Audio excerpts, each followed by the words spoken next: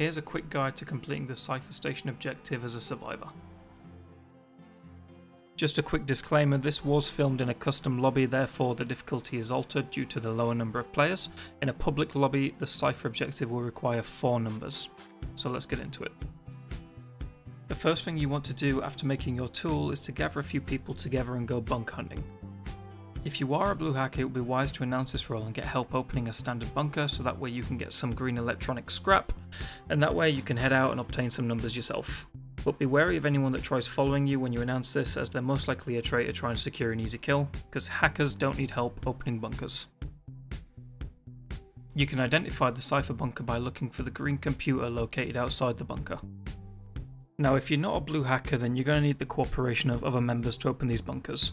Remember as well that you don't know the roles of everyone around you, so be careful that you don't get caught out and killed by the traitors here. If a traitor has enough credits and they touch the computer, they can generate a fake number which can be devastating for the survivors. My solution is to try be the one that gathers all the numbers, but try allocate one person for this job. Once you're in the bunker, access the console.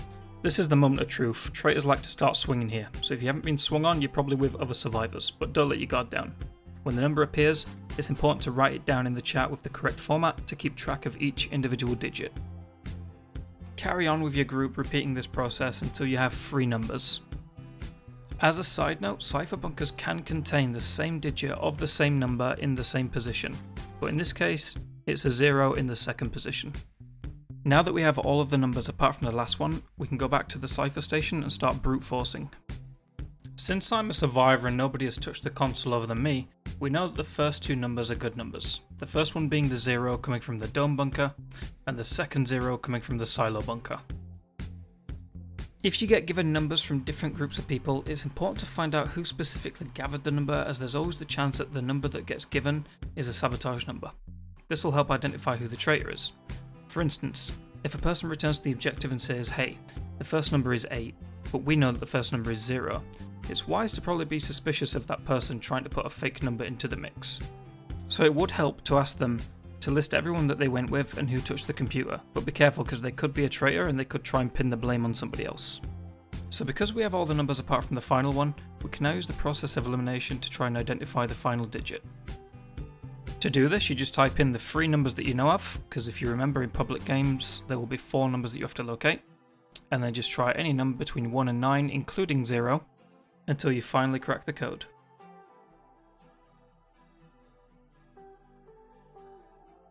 Now this is just a very basic rundown of how the objective works and a few things to look out for. Cipher Station can be quite complicated at first for new players and I didn't want to overload too much information into this guide by listing all the possible ways that a traitor can disrupt this objective. I feel most of you will learn that through experience. Just remember that traitors can tag along with you and lie about the numbers on the screen, so it's wise to double check the consoles, especially in the early game because traitors won't have enough credits to sabotage. Whether you're a survivor or a traitor, try be the one grabbing the numbers and state that nobody else should touch the computer. You can probably see where the deception comes in here and the trust, as both of these tips go somewhat hand in hand.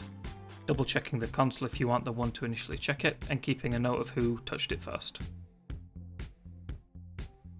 Well, that pretty much wraps up the basics to Cipher Station.